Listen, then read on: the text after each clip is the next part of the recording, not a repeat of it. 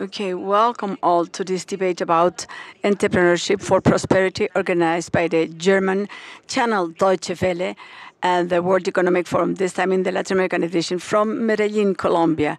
It is a worldwide acknowledged city for its innovation, but also because of its entrepreneurship uh, spirit.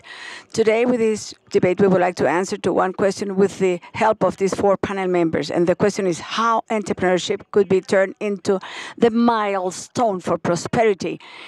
With regards, well, to recession or economic slowing.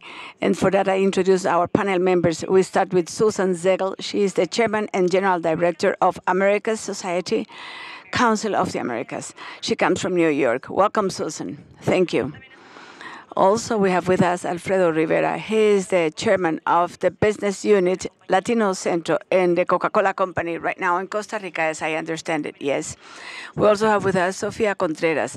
She is a young entrepreneur from Argentina. She is the founder of Chicas in Technology or Girls in Technology, and she also works with the leadership of entrepreneurship capital and the Ministry of Production in Argentina. And finally, we have with us also Antonio Ermírio de Moraes from Brazil.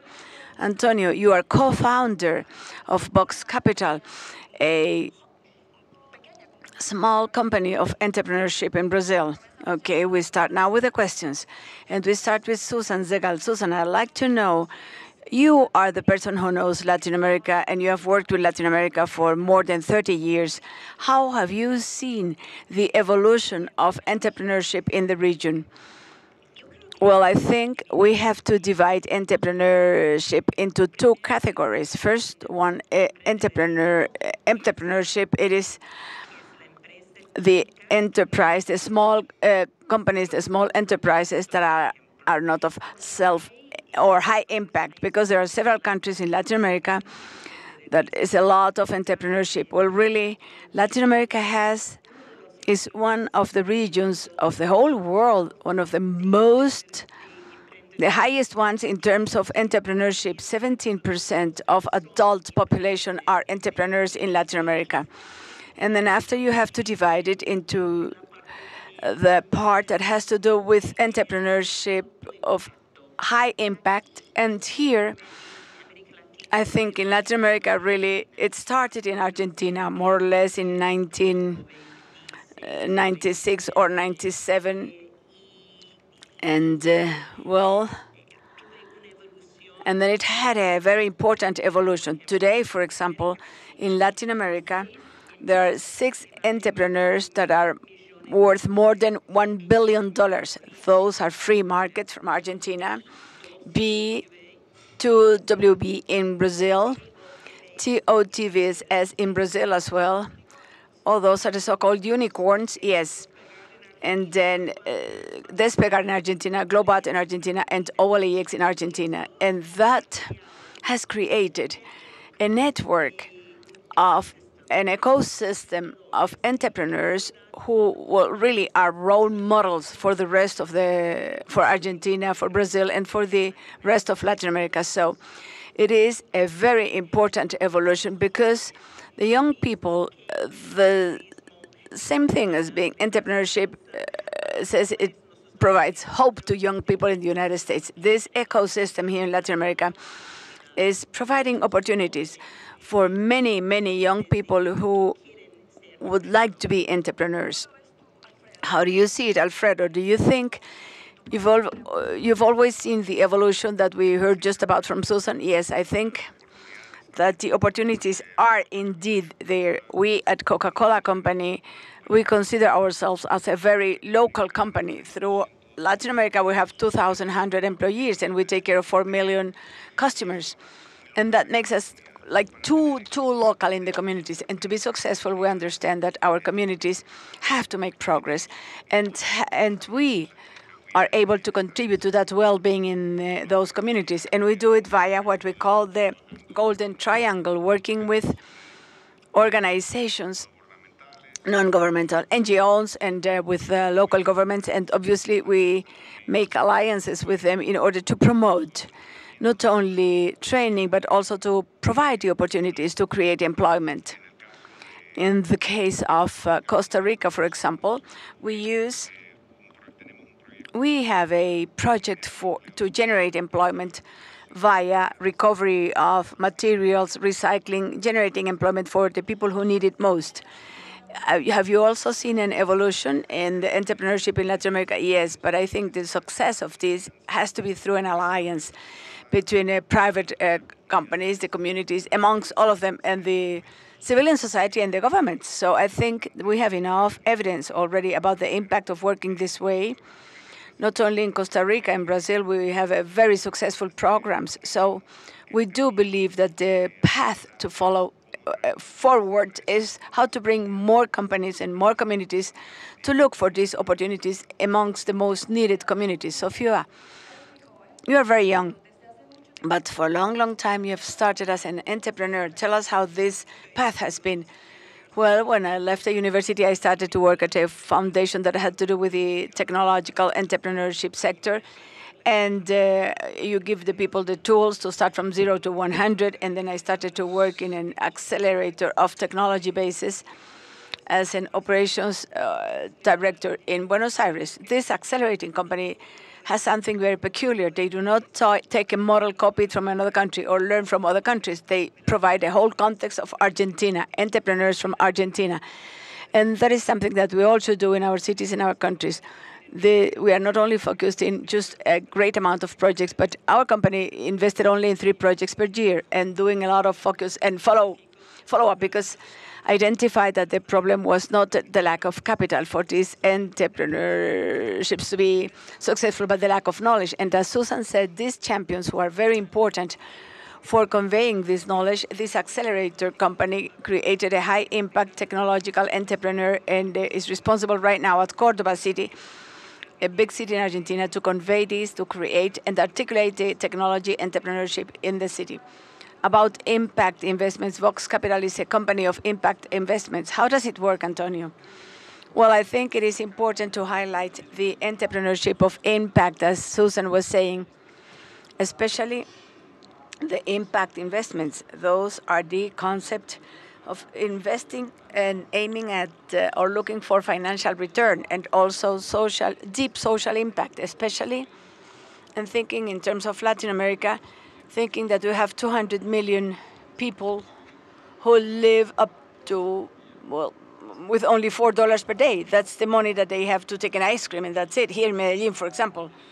So we have to think on innovation to apply it to solve the big problems. So the impact investors, it is a novel concept actually, has about four or five years old, and, uh, and it is turning into a mainstream actually it is very important as to think and how to bring technologies to solve the big problems of education, health, and even in financial inclusion as well. So Vox Capital is a fund that I think I created it uh, seven years ago, and we have analyzed more than 1,500 companies for investments in 20 of them. And in those three main areas, health, financial inclusion and education. Yes, but uh, building or constituting a company in Latin America is not an easy task. I remember a report submitted by the bank, Latin American Bank of Development, in Latin America to mm, build or to constitute a company, you need, you need twice as much time as what you need in any other country of the OECD. So, how to make it possible that the sectors, especially public sector, more than an obstacle to be more like an associated partner in constituting the company. Susan, what is your opinion? Well, I think entrepreneurs have to overcome everything. So good entrepreneurs have also overcome the problems of the government and the rules to open a company. And I think one of the reasons why the entrepreneurs are so good in Latin America is because they have had a lot to overcome. But having said this, I think it would be much better if the governments, because all governments want to entrepreneurship because that provides employment, hopes, and opportunities for many people. So I think it is a great opportunity. And I also think today, for example, Argentina, under the President Macri's government and also under the different governors and the head of state of Buenos Aires, all of them are trying to simplify the opportunity to have more entrepreneurship. And I see it eventually in Brazil I think it will also happen in Brazil. And you see, for example, in Mexico, the reforms made by the Mexican government, for example, in telecommunications, has hugely decreased the costs for a new entrepreneur to for him to make to open an enterprise or a company because the cost of connecting internet and telecommunication has also decreased. And so that has created many more opportunities for the people, the entrepreneurs.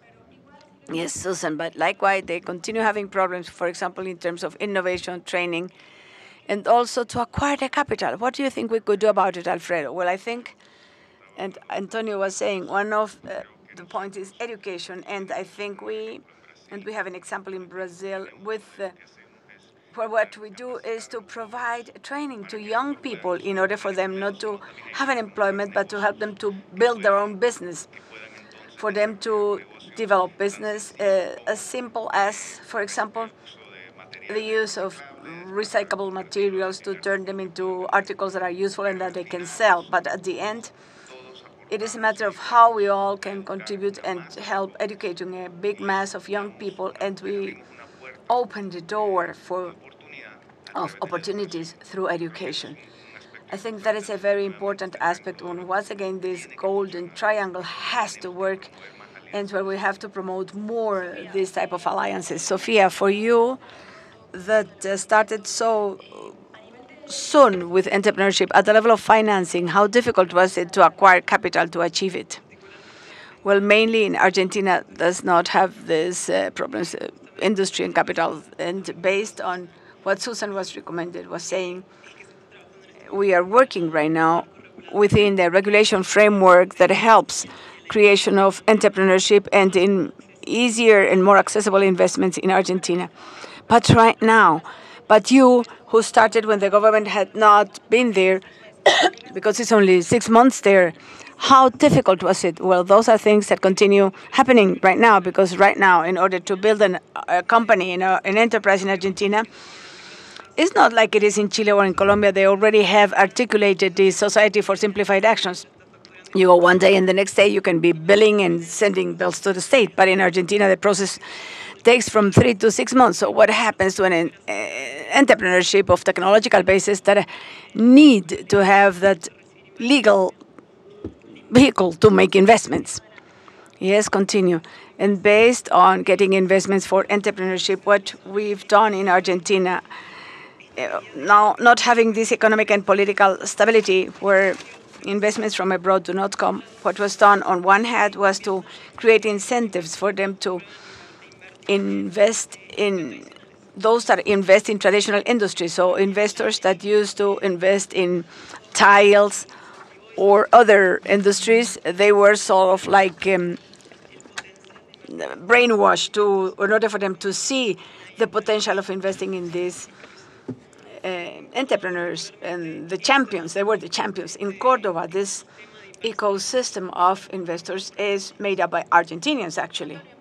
Antonio, in Brazil, how many obstacles do you does a young person that wants to invest there has to overcome? Well, there is a big progress in the entrepreneurs ecosystem with some initiatives from the government that are interesting. Uh, most, well, I think the government has trapped, I would say, the entrepreneurs, but an innovative program, for example, the one of the Ministry of Development, well, they have trained 20,000 entrepreneurs with education, entrepreneurship, education concepts to support 600 of these entrepreneurs with mentorships and connections with the funds of venture capital, with incubators, and also the investors. So uh, it is a government's initiative that I think is very interesting. And the ecosystem in venture capital in Brazil has been developed a lot in the past 10 years with the presence of the International Inter-American Bank of Development and the FOMI, and they have invested in more than 20 different funds in Brazil. So, well, the World Bank has said at several opportunities that they found like a relationship between entrepreneurship and the success of entrepreneurship as well as the family wealth. So several of the entrepreneurs that are successful is because they come from wealthy families that had the means to help them to overcome obstacles and for them to make their own businesses. So do you believe that it continues to be like that or has this somehow been has changed in the past years? Susan, what's your opinion? Well, one of the most successful entrepreneurs in Argentina came Wences Casares. He was the first successful entrepreneur from Argentina. He had a company named Carregan. He came from a very poor family, actually, from the southern part of Argentina. So now he is a serial entrepreneur. He's made four or five companies. They sold one after the other. And he started now, well, another eight firms. So I think there are many, many entrepreneurs in Latin America who come from families that have the opportunity to support them. But there are several of them who do not come from these wealthy families. And if they are good, I think now the ecosystem is starting to support them. I think the problem is different. I think there is another problem. The problem is what do you think is the problem? I think the problem is uh, the there is a lot of money at the beginning, a lot of money at the beginning by entrepreneurship of high impact, for example, to the cycle of angel, uh, the first A round or post angel A round B round. There's now very little money after that and very little few opportunities because of lack of liquidity, volatility of the economy in Latin America and lack of liquidity in the capital markets. So I see it uh, different, uh, the problem, uh, from a different point of view. I think the problem is the outlets, the way to go out and the opportunity there instead of having the opportunity at the beginning. Do you see it the same way, Antonio, for see? Yes, it is clear. I completely agree with Susan. We started in Vox Capital and the investment funds to be much more CBSB because of the total lack of capital we have the venture capitals, we have the angels, and then afterwards we have private equity. Those funds uh, that are huge and more mature that are actually in the face of getting AB capital, but there is a how could we name it? There is one thing. In Brazil, we have it's like the valley of death. We have three million reales, up to 50 million reales, it is very difficult to get capital. And it is the crucial moment for an entrepreneur to escalate up in the business. It's quite different from Silicon Valley, for example, it's or Israel. And in this case, Alfred, oh, go ahead. Well, these are actually initiatives, very good initiatives of small scale. When we speak about how we impact in the young people, the youth that has less resources, I think there are opportunities, and uh, I've been quite interested in the global shapers. We've been supporting this program since 2012 because the programs developed there are not only, in many cases, they have impact in the communities, but also they have a high technology and knowledge components. Young people that have have a commitment to development, not only their own personal development, but the development of the communities where they live in. And these type of initiatives, Global Shapers, are the ones who are helping us to understand, to better understand, we as a company, for example, how we can help and how we can contribute. And they are of a very high impact in those communities where they are present, where these people are present, these young people. How do you see it, Sofia? I coincide with what Susan says also, but I also think that we still have a long way to go in terms of we're not having an ecosystem of developed capital investment in a country and not having the banking industry oriented towards helping to these entrepreneurs, well, the entrepreneurs have to continue going and asking friends and families to start because, and sometimes not even that because they come with, from families with low resources.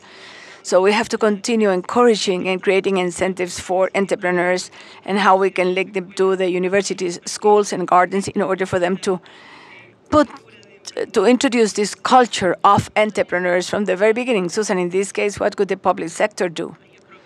Well, I think the public sector can. There are programs that the public sector could carry out in order to create incentives for capital uh, incomes, especially in the companies that you are mentioning now about uh, companies that are more dedicated to the community. I think the problem of high impact is a problem that has to be solved in terms uh, of, well, for the big investments, the private sector has to solve that problem, not the public sector. The government may facilitate the process, but a much larger role is played in the projects that affect the community, and that those are entrepreneurship of social innovation and so on. And it has a much more important role than one they are playing now when in Argentina now, from the Secretariat of Small and Medium Enterprises, I say entrepreneurs because before we didn't have this uh, office.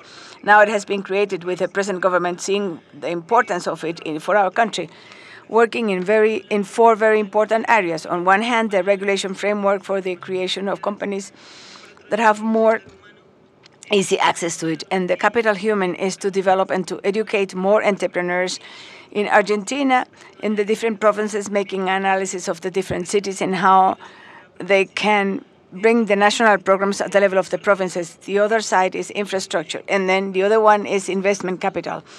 Developing the co-investment instruments where on one hand they put co-investment for the creation, well, technological basis and scientific basis, because as Mr. Macri said before, scientific uh, research is not just a research, but we have to we have to take them to the cities and the society to generate a monetary impact and employment creation, uh, and also as something good for the society and other co-investment tools for the creation of funds also. Alfredo. Yes, if you allow me one comment about the role of the government also. There is interesting data from a report of the Global Agenda Council for Latin America, here from the forum, that Susan and myself are members of it. And in the past 20 years, the rate of incomes in the public sector uh, has increased uh, since, um, oh, well, about from 25% up to 30%, the mean for the countries. And the social expenses as divided by the total amount of public expenses went up uh, from 50% up to 66%. So the conclusion is that the capabilities of collecting more taxes uh, uh, says that it is no longer possible to fund uh, public expenses with higher incomes of higher taxes. So this is a call for the private sector um, about social programs. So that's why impact entrepreneurship as well. Alfredo, do you agree with this, what Susan says and what Antonio says about the commitment that the private sector should have? Yes, I think they're good opportunities. And as Antonio has been doing, is uh, turning these opportunities into business opportunities. It's not just philanthropy. It is developing opportunity pathways uh, to improve development. Uh, and in the, from the point of view of entrepreneurship, this is precisely what we're all looking for. There is something else that I think the government can do in the United States, and one of the reasons why there are so many entrepreneurs uh, in uh, within the normal market, because there is a great deal of entrepreneurship uh, outside in the gray market in Latin America. But in the United States, one opens or starts a business or one closes a business in one day. And if anything happens, if anything fails, if I have a company and doesn't go well, I can actually close it without any cost to myself. Um, and I will not have uh, uh, problems with uh, courts or uh, as as long as I don't do anything illegal, uh, it's it's not illegal to fail. So you can just go ahead and close your business without a problem. In Latin America, it's exactly the opposite. Uh, it is very difficult to close a business here. Uh, because uh, uh, there is a huge expenditure that will have to be incurred by the owner. There are legal consequences as well. And this is a, a, society where it's hard to fail, to not be successful, and there are legal consequences to this. Uh, so one thing that the governments can do is to actually change the system so that there will be opportunities uh, for the entrepreneurs so that they can open and close businesses. And if they don't, uh, uh, if things don't go well the first time, they can try a second time or a third time. And I think the government has a very important role to play in that area. Uh, can you teach somebody to become an entrepreneur? Are you born an entrepreneur? Are you born with a talent to be a businessman? Or can you learn along the way to be an entrepreneur. I think there is a great deal of evidence that, that yes, yeah, you can develop capabilities in people so that they can be better entrepreneurs. Obviously, in uh, technology-related business, you need a certain amount of knowledge. That is obvious. Uh, but uh, if one can generate uh, the capabilities, and these capabilities can be generated, then they can start a business, uh, and uh, uh, the knowledge they have uh, will, of course, help them to move to the next financial level. They will have better opportunities for themselves and for their families, and there will be other opportunities in the area of health and education, etc.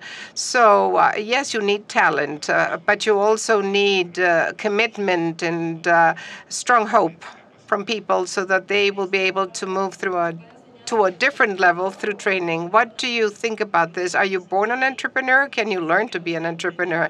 I think you can teach uh, somebody to be an entrepreneur, but to take risk, you have to be a risk taker by birth. Uh, yes, I agree. But in particular, I think we can uh, uh, teach people uh, to be businessmen if we use the right incentive. Uh, uh, we actually teach people to develop applications with social objectives because especially girls are very interested in developing businesses with social objectives. They want to see a positive change in the world because with technology you can generate an action which will impact many people. So 13-year-old girls, for instance, are totally excited about the fact that they can create that impact, that they can actually create this good impact on the world through their knowledge and through technology. I would also like for us to talk about the gap uh, uh, in um, the uh, business area for women. Uh, I think there is a gap here for women in Latin America. But I also want to talk with you, Antonio, for you to tell me do you think uh, that an entrepreneur is born, or uh, can an entrepreneur become an entrepreneur along the way? Uh, I think uh, uh, that you can be taught. I, I went to Ryerson College, college in the United States, and it focuses on making people into entrepreneurs. Um, I, how many teach professors are there teaching people how to become uh, entrepreneurs. This is a science. Uh, but of course, you do need a personal profile. I agree with Susan. Uh, more than 1,500 entrepreneurs that I've interviewed or that I have endorsed uh, through our fund, uh, many of them don't have uh, a risk profile. They they well they think uh, that uh, the investor should be the one to resolve uh, their financial problems. But the idea here is to be able to use an opportunity, even if you don't have the resources for that. Uh, so, uh, you know, these people have to be able to take some risk and to be able to deal with adversity. I understand uh, that female technology, as the name expresses, is actually addressing only females because there is a very big uh, gap in terms of gender with regards to technology and entrepreneurs. because ever from the time we're born, we're pigeonholed and we're told you're a man, you're a woman this is the way you have to dress. This is the way you have to talk. This is the way you have to feel. And uh, uh girls are do not see themselves uh, being engineers or being developers or being uh, uh, lawyers or whatever, uh, because there is this very strong stereotype uh, that holds them back, uh, holds females back. So what we're doing is we're breaking stereotypes precisely at that moment when females are deciding what they want to be, what they want to train in.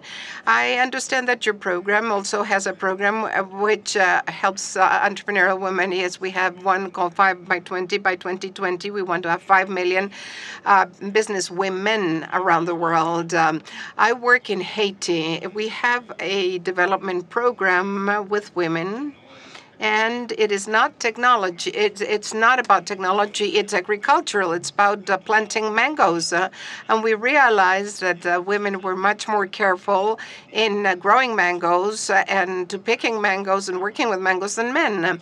So uh, together with a different NGO, uh, we are working on mango growing and exporting to the U.S. with added value, so the female um, farmers can make more money, and therefore they can provide education to their families. And we also know that women are much much more careful with uh, money, so they manage it better, and they're able to grow their savings, and they're able to take care of them and use them in an intelligent way. So no doubt this type of program will help communities to become stronger. Uh, women are vital uh, for the well-being of a community, and we can see this clearly in Haiti. Out of in a program of 25,000 farmers, more than half of them are farmers.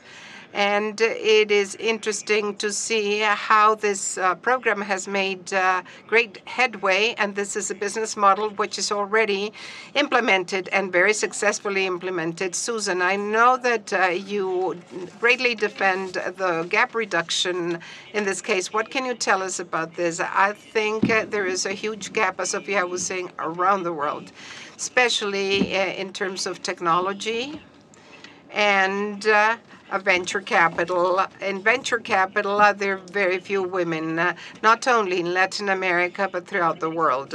And in uh, Latin America, this is even more so, and also in my country.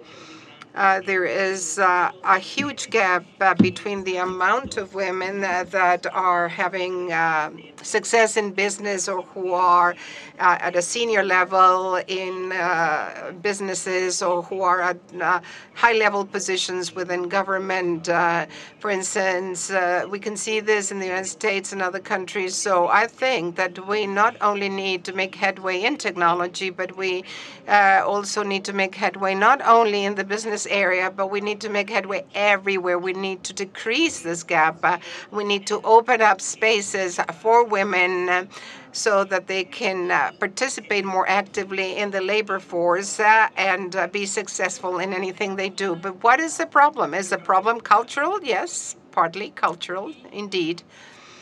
And for me, I don't think it's only a cultural problem. Yes, it's cultural. Yes. This is interesting because um, uh, let me give you an example.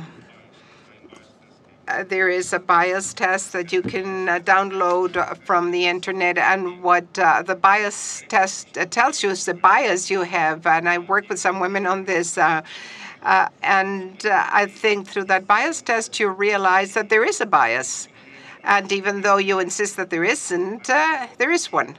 And in order to be able to change that, uh, you first need to realize that the bias exists, and then you need to tackle it because this is definitely a cultural problem, and it will not change uh, unless we accept that there is a bias, that it's there, and uh, therefore we need to make uh, certain adjustments when we are going to make decisions um, based on the fact that this bias does exist. Uh, and uh, I wasn't so sure it was only cultural. there is uh, uh, PISA test that uh, measures the performance of boys and girls in mathematics. and mostly it's boys who do better, but in Argentina it's girls who do better on the PISA test. so it's really not cultural, or or it is. I, I, I really don't know. Uh, so how how can we put an end to that bias? What can we do to resolve it? Uh, where where can we get uh, help from so that we can handle it, or at least so that we can reduce Uh, first of all, we need uh, to recognize that the bias is there. And then we need to acquire commitment uh, in order to promote change. And uh, the problem is uh, not only equality, but it's also a business. If your consumers are have women, then of course your company should reflect uh, what your consumer is. Uh, uh, more than 70% of the expenditure in consumer programs are made by women. So if there is an organization uh, that does not reflect that reality, then uh, there's going to be a lot against you in order to be successful because you will not be incorporating that opportunity which is there.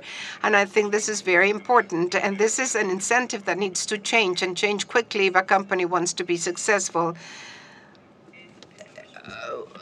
Uh, we sometimes uh, do not see the mistakes that uh, can be contrarian to women. Uh, I went to an Apple store, and the first one, uh, the first step does uh, does not have well, it has a step that has like a mirror, so that women get on the mirror and if they're wearing skirts, it's very uncomfortable. And uh, we also have to take into consideration uh, the economic side of things. Uh, this has a great deal to do in countries like Japan, where Abe is trying uh, for women to stay within the labor force. Otherwise, there won't be enough people to work. Uh, so all this is a reality. Antonio, what did you want to say? I do not know what the answer is, uh, but we do need an excellent initiative, and it might come from uh, microcredit, uh, as such as Grameen Bank. Uh, one of the founders, Muhammad Yunus, who was a Nobel Prize winner, has more than 7 million of micro entrepreneurs, and 90% of them are women. And to give you an example, in Latin America, we have Compartamos or Let's Share, which was an initial investment done by the World Bank, uh, and the return, uh, financial return rate uh, was more than 100% per year during during seven years until they did the IPO in 2007. But today it has 2 million micro entrepreneurs, and more than 90% of them are women. So the economic opportunity of including women uh, uh, is very interesting, and we must give them access uh, to these opportunities. Now we're going to open up a space for questions and answers. Please give us your name, tell us whom you're addressing your question to. If you can be as brief as possible, we would appreciate it so that more people have the opportunity to participate. Uh, we have a question right here.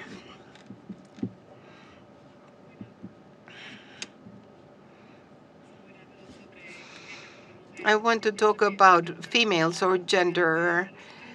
I am Elona from Karate Institute in Brazil. Uh, this uh, issue with women goes beyond cultural uh, problems. Uh, when we think about uh, businesses, uh, well, sometimes these businesses are not prepared to uh, receive uh, women uh, who have children and need more flexible schedules. Uh, so in the business world, we need to create uh, different rules. We need to be able to raise our kids up, and we also need a space to be successful. but I think women are penalized nowadays. It's not easy. There, you you do pay a price for being a woman in your career. What do you think about this? what in, in, from the business perspective? What do you think about this price that women have to pay throughout their career because of being women. I think that we always need to open up new spaces uh, where women uh, can uh, be mothers and also uh, uh, have their businesses uh, or their work. I do know women that, well, if they have their own uh, business, they can take their kids to the company, and there would be a lot of flexibility in that way. You would need to create that flexibility because uh, these are very personal decisions. Um, but I agree you need to create spaces uh, in order to be able to raise your children and work. Uh, this is uh, you need to strike a balance, and for this you need the support of the father as well, the husband. Uh, because in a world uh, where the mother and uh, the mother work, uh, this changes the balances in the the balance in the household. Uh, they both need uh, to be more responsible or participate more actively in, in child raising. Uh, there are many societies where uh, when couples marry, the woman has to stay home. She cannot go out and work. And this is the cultural part that I'm talking about. I'm going to answer from the point of view of the impact on the investor. There is a rating with five main criteria. One of the criteria is governance, uh, social impact, environmental impact of uh, the product, uh, the uh, focus on the business model, and the fifth one is uh, the relationship with the labor force. The labor task. And one of the components is uh, gender inclusion. This is just to tell you that uh, since we are impact investors, we are 300, we represent 370 impact funds in the world. Well, I, I, I have to tell you that uh, many of these funds are using this rating system, which means uh, that you're assessing the situation and you're looking to incentivize uh, these forms of impact. Uh, in our fund, 50% uh, of the success rate of the fund is related uh, to this impact rating which includes the fact that uh, that we need uh, to change financial incentives. Uh, another question. My name is Adriana Sarmiento, and my question is uh, it has to do with financial inclusion of micro enterprises. From what I've heard from you and the knowledge that I have, I see that there's a great gap uh, between a micro Uh, company and uh, a small or medium uh, company.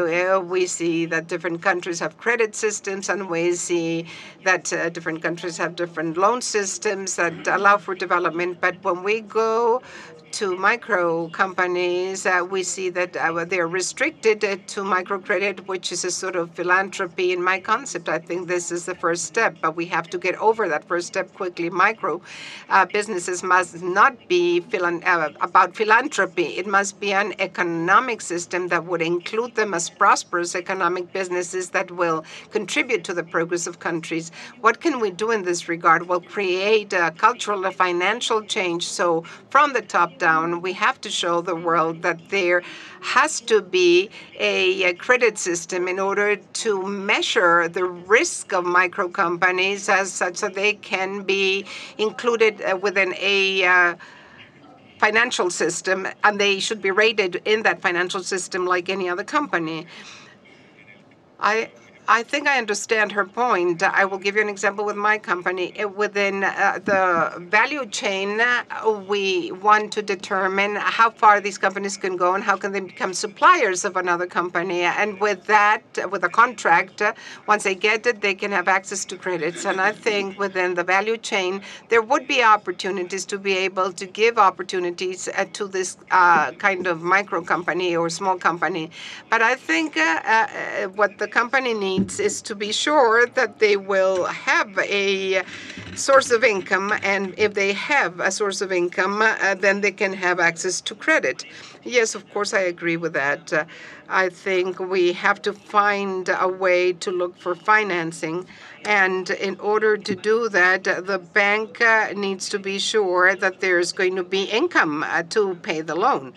Uh, something else which I think is very important is that we need more institutions in Latin America to work on microcredit. Uh, they need to develop the banking system. They need to develop it much more here in Latin America because uh, there are countries that have almost nothing, including Argentina. Their uh, banking system uh, needs to be developed uh, much more, and I think other countries need to develop that system uh, as well. And, and this is where the startups come up, which are linked. Uh, to microcredits, and they are being sort of overseen by the microcredit system. Uh, two more questions over there.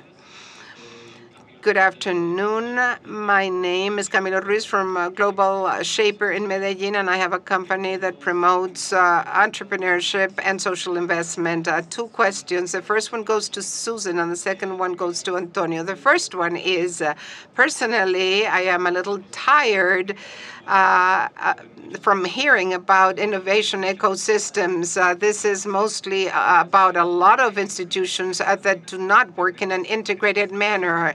But there is one system uh, which is uh, working, and if there is one, I would like to know what it is. And uh, before talking about entrepreneurship uh, for prosperity, we should talk about. Um, businesses with a purpose because some people only think about business in order to get money or to uh, create jobs, uh, but uh, there is no real uh, why. Why are we creating a business? I think this is uh, something which needs to move beyond just income and jobs. Uh, I think uh, in Argentina we have a good example because we have many uh, successful entrepreneurs like Marcos Galperin or the people from Globant. they are investing and some of the founders already have started other funds, and there is an entrepreneurial ecosystems helping other another eight entrepreneurs, and Endeavor is also very well developed in Argentina. So I think uh, that uh, the system is definitely working there. And the last point I want to make is that Endeavor has carried out a study uh, which uh, um, has uh, done a uh, mapping of the ecosystems in certain countries, and this is very interesting uh, because there you can see the multiple effect uh, of the ecosystem and how uh, how to create uh, one the fact of having one successful entrepreneur will multiply the number of entrepreneurs that will come out of that. Uh, I like that question very much because I think uh, uh the businesses of the 21st uh, century will be uh, businesses with a specific purpose on uh, in mind. Uh, the millennials are totally involved with this purpose. Uh, it's not only about just the business and the money and the jobs, but about the purpose of the bill. Uh, of the business. We need to learn how to resolve big and small problems. talent, talent has as a specific purpose. we have to we, we need to learn to attract talent, to retain talent, uh, uh, to spot talent. Uh, for instance, uh, Carlos Slim, uh, uh, his investment thesis is where are wherever the biggest problems lie, there also you'll find the biggest opportunities. Uh, this is a great opportunity for change. 66% of millennials, according to Deloitte, uh, think that the main uh, purpose of a business is uh, to have some kind of positive uh, impact, and 44% think that the purpose of a business is to add value uh, for the shareholder. So there is a cultural change that is taking place in this new generation. Uh, we have one more question over there. Could you please uh, stand up so that the camera can uh, focus on you? My name is Berta Bayer, a global shaper from Managua Hopa. And um, uh, talking about ecosystems, I would like to ask you what are your recommendations and what your experience has been in order to be able to take uh, these successful ecosystems, as is the case in Argentina, which Susana was mentioning. How can we take these successful ecosystems to other countries that have not been so successful? When we're talking about um, entrepreneurship uh, and companies such as mine, which is uh, developing a, com- a economy and the resources are scarce, etc., etc. For me, in particular, the commitment by institutions is absolutely fundamental within uh, the uh, ecosystem, uh, the government, uh, the investors, uh, the entrepreneurs, uh, the venture capitalists. They have to have a real commitment. They should generate a system in which uh, uh, they will be meeting regularly, and rather than stepping on each other's toes, uh, toes they will be looking to potentiate their possibilities by working together. So these entrepreneurs should adopt this commitment, and they should be the leaders in the generation of this new system. We have another question.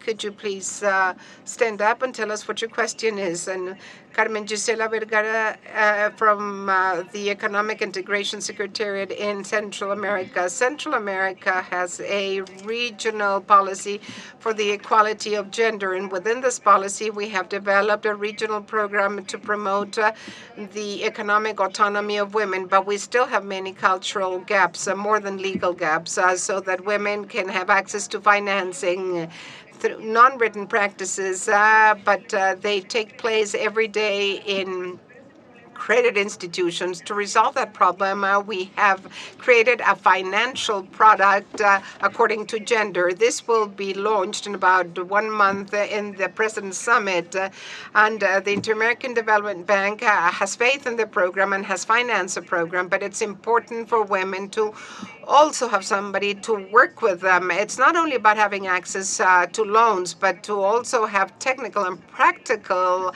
aid so that they can become part of the national and international uh, uh value chain. So my question is the following. In your knowledge, uh, are there any support programs uh, that we could look into so that we could uh, use them uh, in this, developing this initiative, in the development of this initiative? Alfredo? I, I, if I understood correctly, uh, I, am I'm presuming this is uh, this is what you said. Uh, how are we dealing with this? Uh, how are you communicating this to women? Uh, the financial product will be a second tier bank, and the second one will be in, uh, will be used as well. But what uh, can we do so that these women ha will have like a support for their program, whatever it will be, a service? It's not enough to just have the idea, but uh, how do I turn this into a reality? We don't have incuba incubators. Uh, we have uh, no other types of mechanisms. What type of programs uh, can you propose uh, so that we could use them in order to complement uh, the financial resource? I think this is something which is very important, which you have mentioned, and I think we need to incorporate and have clear objectives so that we can include women or female uh, companies within the production value chain because this would be the only way in which we, uh, we could give support to these companies. And I think uh, that uh, the companies themselves uh, need to uh, think about uh, their own social commitments in ways to support their commun community so that they can include more female companies within the chain.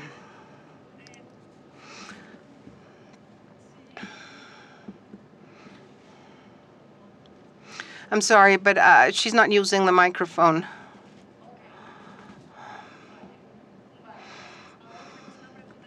We have another question over here.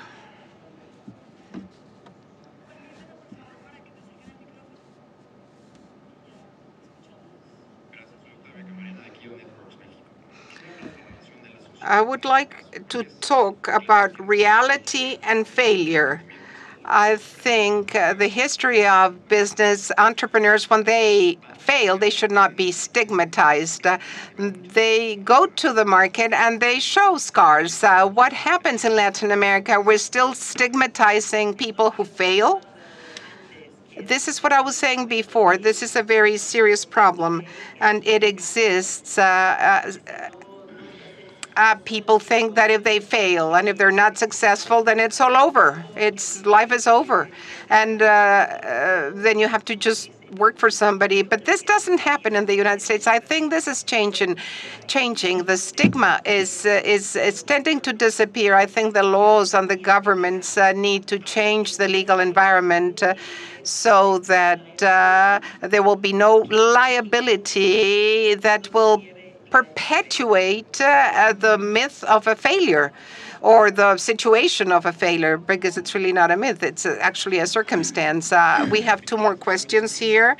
Uh, My name is Pablo Jackson, Jenkins, uh, and uh, I come from Costa Rica. my company is called uh, Young People in Action. I worked uh, in Endeavor for some time, and we used to see these role models with a purpose. Uh, and the purpose is not only about financial uh, success, and they, these successful people should be able to become new mentors, which is something that is already happening in Argentina. I want to ask two concrete questions. I think uh, I've seen efforts uh, to support uh, females, give them technology, but how do we improve the situation of those people that work with them as well? Are their significant others, their parents, their children? Sometimes we're talking about different possibilities, such as a venture capital, but still there are many systematic biases, even in the most sophisticated, innovative businesses. So my concrete question right now now is what can we do to support this and to redefine the masculinity factor of those people that are working with these women and who are empowering those women in order to get uh, uh, more education and technology. For me, this has to do uh, with a better education, with a better gender perspective, better family education. I think many companies at this moment are also providing different uh, programs within their organization so that people that work there will take this into consideration. They will think more deeply about uh, how are they educating their children, what kind of language are they using at home, and how they're working within their companies, what kind of things they can do to improve their situation for the female gender. Uh,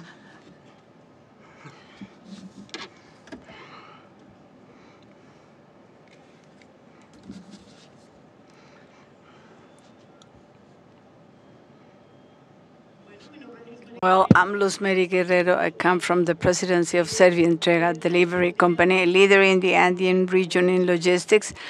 We are in Colombia, Ecuador, Venezuela, Peru, Costa Rica, Ecuador, and we have strong a lot. We have worked a lot in entrepreneurial development, and we are very much encouraged by the World Economic Forum in Panama. And we have been managing formal employment. We are one of the fastest growing organizations in uh, formal employment, but also franchises for services. We have 12,000 solution centers in the Andean region, and it is a matter of incorporating franchise models for services and also maybe, Segal, would you share with us how our franchises uh, being valued or assessed in Latin America, and how much progress has the forum made in order to make it more flexible, the labor subjects for new entrepreneurs? Well, the truth is that the franchises a model, we have many customers that are franchises, is successful.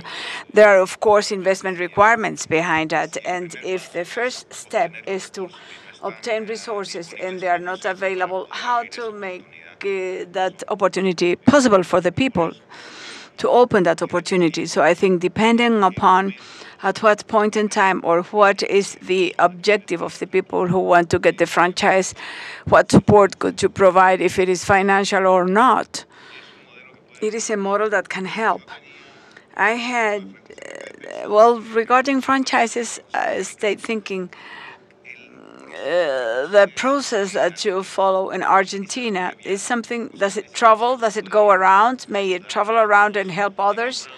It, in the processes like as to build a an initiative of technology, for example, or any other type. Uh, those are the steps that have to be followed in order to. Do these models are there? Can you replicate them? Well, it depends upon what company. Some companies demand certain technologies or the software development, but each one changes depending upon the field in which they are because well, it could be expanded and could be more inclusive. Yes, the technology basis companies are replicable because that is the attractive thing of this uh, software. And one of the most successful companies in Latin America is not only in one country. Those are from they're at regional level, not just country level. So they are you can replicate them because uh, throughout the countries in that sense. the question is what is the cost of replicating it if that opens opportunities for other people? Well, we just have time for just one more question. Please be brief. Your name and the brief question because it's only one more minute uh, that we have left to conclude this debate. I am Andres Escobar. I'm Global Shaper from El Salvador. And the brief question is, we've talked about funding, we've talked about creation of companies, but I would like to know, talking about social impact, what are the best practices that maybe Antonio and Surar have seen for measuring the impact? How do we know that these companies are working? Well, very briefly, this is the rating system that I've mentioned before. The name of the system is GIIRS, G-E-A-R-S, which is Global Impacting uh, Basic Rating System. It was developed by B-Lab company with the support of the Rockefeller Foundation, with Deloitte and others. Basically, it is uh, like an audit activity throughout the whole year with all the companies of the portfolio of an impact investment fund. I mentioned the five perspectives that I've, uh, well, I mentioned before, the benchmarking today for impact assessment in investment funds, impact investment funds. Well, with this, we conclude this debate about entrepreneurship for prosperity. Thank you all for coming, for being here in this debate of the Deutsche Welle, where we can conclude that indeed there is an entrepreneurship potential in Latin America, but we still have a long way to go. We need money, we need innovation, and also we need more support to women. So thank you all for coming and enjoy this journey at the World Economic Forum in Medellin. Thank you.